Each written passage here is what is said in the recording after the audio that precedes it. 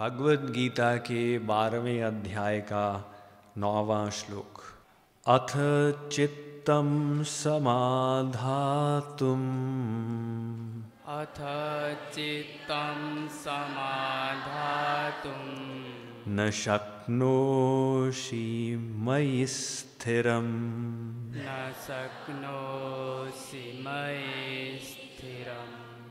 अभ्यासयोगेन ततो माम्। अभ्यासयोगेन ततो माम्। इच्छाप्तुं धनञ्जय। इच्छाप्तुं धनञ्जय।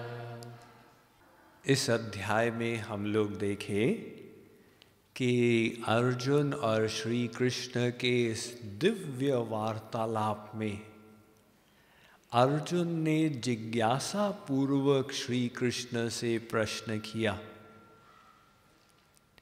कि उनके निराकार स्वरूप की उपासना अथवा साकार स्वरूप की उपासना किस से श्रेष्ठ योग होगा?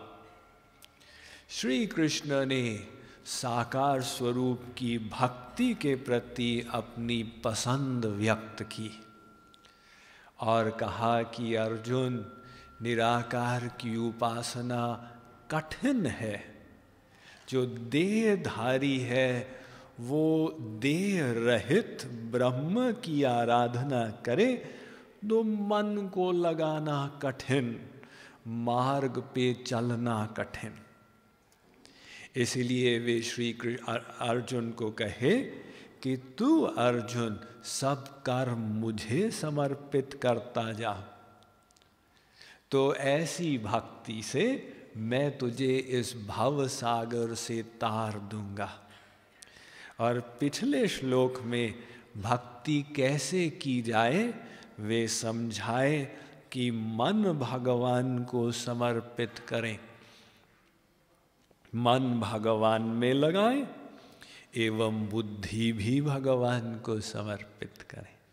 तो जो ज्ञान भगवान ने शास्त्रों में दिया, या अपने प्रतिनिधि गुरु के माध्यम से दिया, उसको हम बुद्धि में धारण करके अपने जीवन को उस शरणागत बुद्धि के अनुसार चलाएँ। तो श्री कृष्ण पिछले श्लोक में कहे थे ना, मई एव मन आधत्स्व, मन को मुझमें लगा दे। अब हम लोग कहें, स्वामी जी, हमसे तो लगता नहीं। हम श्री कृष्ण की आज्ञा का पालन कैसे करें? इंग्लिश में कहते हैं इजियर सेड देन डन बोलना आसान, मन को लगा दो। जब लगाने चले तो पता चले, भाई, ये कोई आसान काम नहीं है। इसमें तो अर्जुन सरीखा गांडीवधारी भी घबरा गया था। जबकि अर्जुन का मन तो इतना एकाग्र था।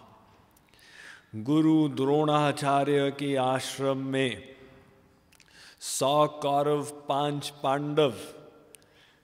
धनुर्विद्या का अभ्यास कर रहे थे।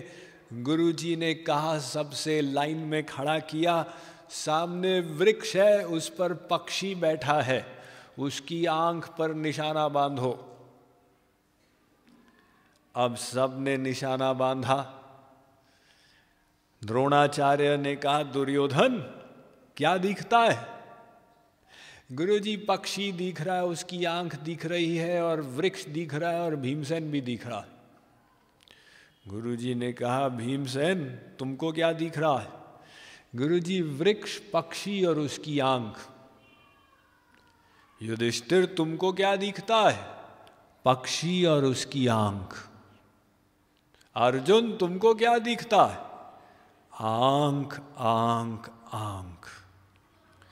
अर्जुन का मन तीर के समान एकाग्र था। लेकिन वो अर्जुन गीता में घबराया हुआ श्री कृष्ण से पूछता है, छठे अध्याय के चौंतीसवें श्लोक में, चंचलम ही मन कृष्ण प्रमाथि बलवदृढ़ तस्याहम निग्रह मन्ये वायोरिव सुदुष्करम। हे श्री कृष्ण ये मन बड़ा चंचल है। मुझे तो ऐसा लगता है कि इसको कंट्रोल करना, वायु को कंट्रोल करने से भी कठिन है। वायु को कोई कंट्रोल कर सकता है? तो अर्जुन कहता है, श्री कृष्ण, मन उससे भी कठिन है। ऐसा मैं अनुभव करता हूँ। गांडीवधारी अर्जुन कह रहा है। श्री कृष्ण ने अर्जुन की समस्या को डिसमिस नहीं किया कि अर्जुन, तू बक बक करत्या मन को कंट्रोल करना आसान है। श्री कृष्ण कहते हैं असंशय महाबाहो मनो दुर्निग्रहम चलम। अर्जुन, तू सही कहता मनो दुर्निग्रहम चलम। मन को कंट्रोल करना अवश्य कठिन है। लेकिन उन्होंने अनिग्रहम नहीं कहा, असंभव नहीं कहा, कठिन कहा। तो कठिन संसार में बहुत कुछ होता है जो आप लोग करते हैं। बच्चों को आप लोग बड़ा करते हैं ना, ये कोई आसान काम है? चौबीस घंटे ध्यान दो, वो आपका सिर खाता जाए, फिर सहनशील बनो, हिम्मत मत हारो। आप लोग बिज़नेस करते आसान काम है क्या? मेहनत करते जाओ, साल के एंड में घाटा हो गया। कोई बात नहीं, इस साल नहीं प्रॉफिट हुआ, अगले साल हम देख लेंगे। करते चले जाते। सर्विस करते हैं तो वहाँ पे बॉस कितना भी क्रोधी हो, सहन करते चले जाओ। आसान काम है क्या? अरे, एक परिवार में एडजस्ट करना, सबकी अलग अलग मनोवृत्ति। स्त्री, पति, बाप, बेटा, भाई, बहन तो ये सब काम आप जो करते हैं, ये भी तो कठिन है। जब आप लोग ये सब कर लिए तो फिर भगवत प्राप्ति के लिए घबराएँ क्यों? वहाँ भी परिश्रम कर लें। एक जन्म में यदि नहीं होगा, दो जन्म में सही। दो जन्म में नहीं होगा, तीन जन्म में चार जन्म में दस जन्म। में लेकिन पहुँचना तो वही है। और अगर कोई कहे, हटाओ झगड़ा, मुझे मन को कंट्रोल नहीं करना। तो हटाओ झगड़ा तो पड़ो झगड़े में। ये संसार का जो चौरासी लाख का झगड़ा है ना, ये भी बड़ा भयानक। वहाँ से छुट्टी नहीं मिलेगी जब तक मन कंट्रोल नहीं होगा। कई लोग कहते हैं, बेटा, तुम अपनी देखो, हमारा तो सब कुछ हो गया। दादाजी, आपका क्या कुछ हो गया? अरे, अब तो चार दिन की ज़िंदगी बची है, फिर छुट्टी।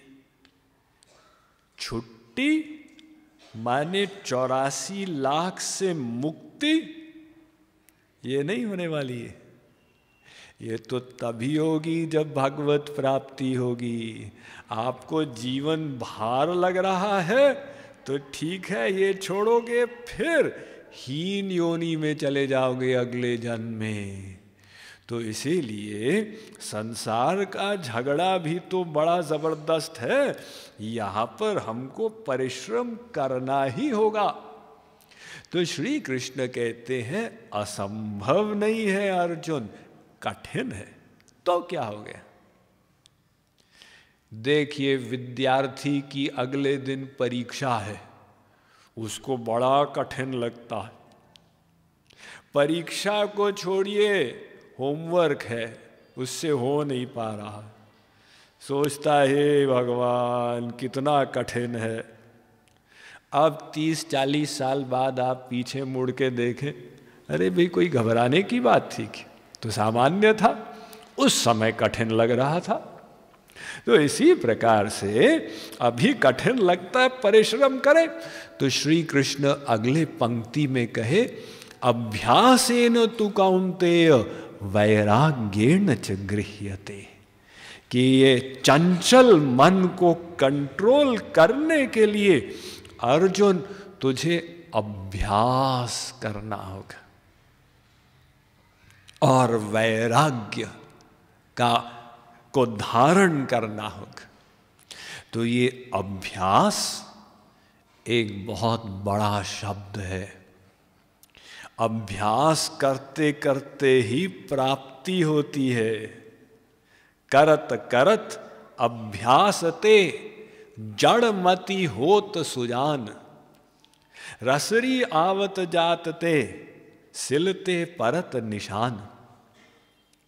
कुएँ में रस्सी होती है ना, बाल्टी से लगी हुई, उसके आने जाने से पत्थर पर निशान पड़ जाता है, जबकि रस्सी तो घास से बनी है। यानी घास ने बार बार आने जाने से पत्थर में निशान कर दिया तो करत करत अभ्यास से जड़ बुद्धि विद्वान में परिवर्तित हो सकती और ऐसा एक ज्वलंत उदाहरण हमारे देश में हुआ सबसे बड़े कवि का। ये थे महाकवि कालिदास। कालिदास जी ऐसे मूर्ख थे कि इतिहास में एक एग्ज़ाम्पल जिस वृक्ष पर बैठे हुए थे डाल पर, उसी डाल को काट रहे थे। तो वहाँ पर उस राज्य में एक राजकुमारी थी, उसका विवाह कराना था। तो राजकुमारी बहुत विद्वान थी। उसने शर्त लगाई कि जो मुझे शास्त्रार्थ में परास्त कर दे, मैं उसी से विवाह करूँगी। अब बड़े बड़े पंडित लोग आए, वो सबको परास्त कर देती थी। तो पंडितों को बहुत खराब लगा। उन्होंने कहा, हम इसको सबक सिखाएँगे। तो वे जा रहे थे और उनको मिले कालिदास कि वो उसी डाल पर बैठ के उसको काट रहे हैं। उन्होंने कहा कि इसके साथ भिड़ा दिया जाए राजकुमारी को। तो कालिदास को कहे, देखो, तुमको मुँह नहीं खोलना। तुम्हारे तरफ़ से हम बात करेंगे। और उसको बड़ी सी एक पगड़ी पहना दी।